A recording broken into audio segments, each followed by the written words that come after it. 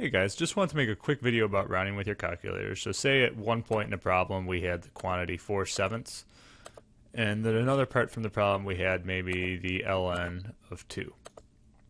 And so to get our final answer, let's say we needed to divide the first number by the second number. And so what a lot of us tend to be doing right now is we're typing in something like 0.57 divided by 0.69, and we get something like that. And sometimes WebWork isn't taking this.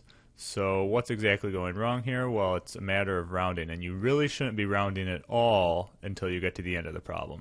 So one way you could solve this is just by literally typing in every single number, 2, 8, 5, 7, 1, 4, divided by 0.693. All right, I'm not going to keep going there, but you get the idea. And then you could hit enter, and it would give you a more accurate number. Now see how the third digit's changed here already, just because I typed in more digits. The easier way to do it is, let's say I had my 4 sevenths. All right, and I know I'm going to need to use this later in the problem. So what I'm going to do is I'm going to store it as we can either store it, we can store it as any letter we want to. I'm going to store it as A. And then let's say we have the ln2 from somewhere else. And now I'm going to store that as b.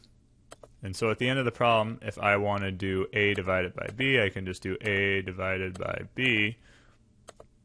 And notice how this is very similar to what I had before, but actually all the digits here are going to be correct. So if you want to enter this into WebWork, you can just enter in as many digits as you want to, although I think it only requires the first three or four, or three or four past the decimal and your answer will be marked correct instead of wrong because you didn't have that 4 correct.